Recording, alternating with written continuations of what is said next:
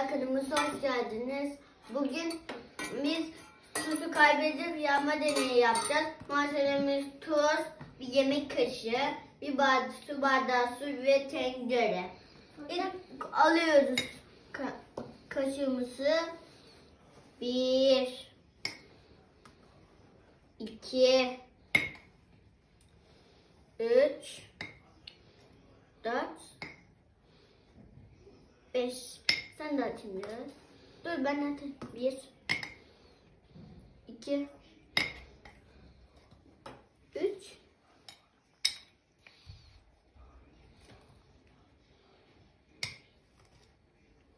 Dört. Ve beş. Peki. Şimdi suyumuzu alıp hepsini dökelim bakalım. Bakın. Sen de dök yaz. Hadi dök. Yavaşça dök ama. Yavaş yavaş yavaş. Karıştır şimdi iyice. İyice karıştırırım. De seçeceğim. Elimi, ay birazcık daha mı su lazım? Yok yok. Karıştır iyice. Kızım çok Karıştır az ama. karıştır. İyice şekerin çözülmesini istiyorum. Bekleyelim. Oh, karıştır iyice.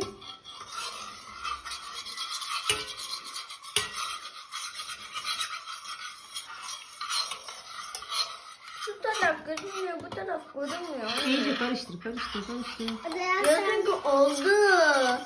Biraz iyice karıştır. Olmuyor. Birazcık Şimdi bakalım hallerine. Tuz. Su da çözüldü mü iyice? Şimdi bunları tuza nasıl geri getireceğiz Ali? kaynatarlar. O zaman biz birazdan kaynatalım. Tuzlu sularımızı kaynatıyoruz. İçindeki suyun buharlaşmasını istiyoruz şimdi. Bakalım.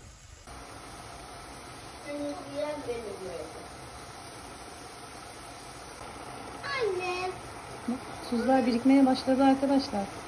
Su buharlaştıkça tuz iyice görünür oldu. Merhaba arkadaşlar. Bugün bekledik. Suyun hepsine ne oldu Ali? Kayboldu. Buharlaştı. Buharla- Geriye tuzumuz. Tuzumuz Geri yapay kar gibi kardı arkadaşlar. Evet. Bakın. Su buharlaşınca tuz geriye kaldı.